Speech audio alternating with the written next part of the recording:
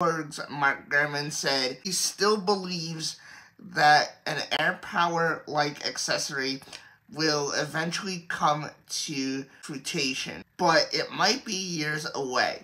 I personally believe that AirPower should just be gone by now. I myself made a lot of videos about AirPower, and at this point, I don't think that there is a need for it. it MagSafe from Apple and third-party uh, developers and companies I definitely think that really not necessary.